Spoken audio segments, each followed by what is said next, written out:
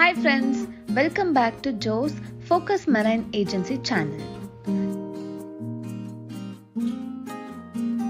Here we have taken a 20 feet used container in good condition and converted it into an office.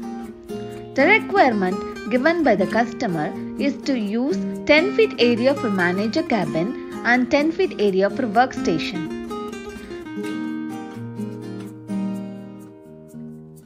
Have made a partition using sliding glass door to separate both the areas. Usually we go for open doors for separation, but if we use sliding doors, space will not be wasted and can be used for workstation. Plug sockets are provided for office purposes. So, this is the completed manager cabin along with workstation in a 20 feet container. This container was delivered to the customer and he was very happy with this.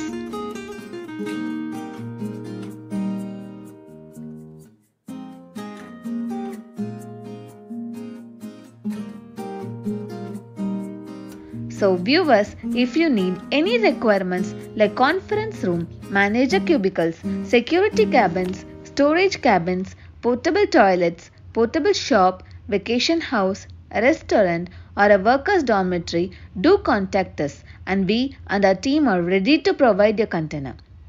Thank you for supporting us and do like, subscribe and share our video. Bye.